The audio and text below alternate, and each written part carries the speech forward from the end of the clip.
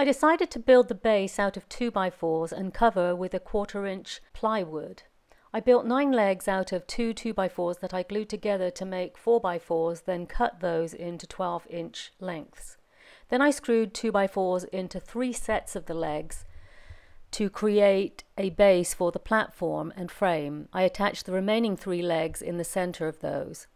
I set up each of the three sections in the room where I wanted them to sit, then joined them with 2x4s and attached quarter inch stained plywood, creating a box for the platform to sit on. I made the support box this way because it isn't really seen, but if I were to build this bed again, I'd make it using 2x12s. I wanted the frame to be 2x12 with mitered corners. This was a lot more difficult than I thought. 2x12 by 8 foot boards are very heavy and cutting a mitered corner was really tough. I wanted to quit woodworking that day altogether. As I was assembling, I decided to put in a little contrasting accent strip in the joint. I drilled pocket holes to attach the mitered frame boards.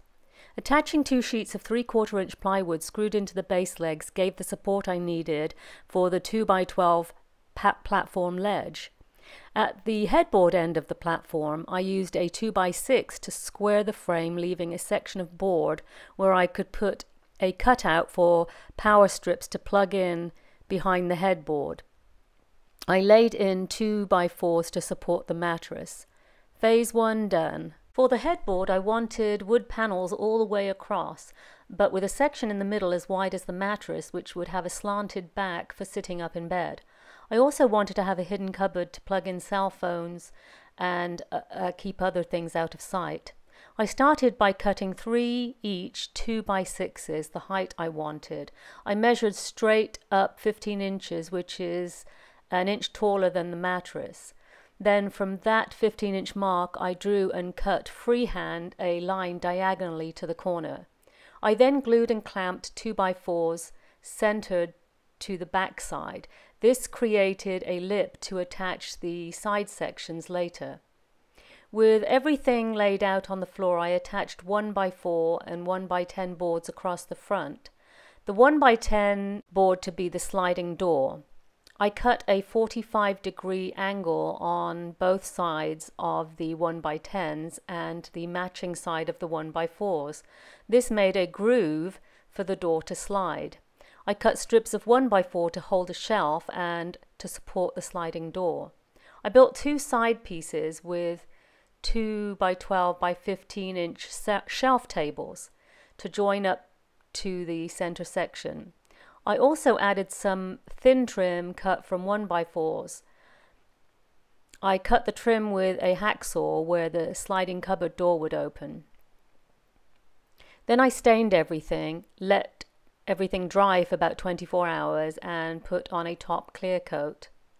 I added a wide strip of one quarter inch plywood to the back so the cupboard would have a backing.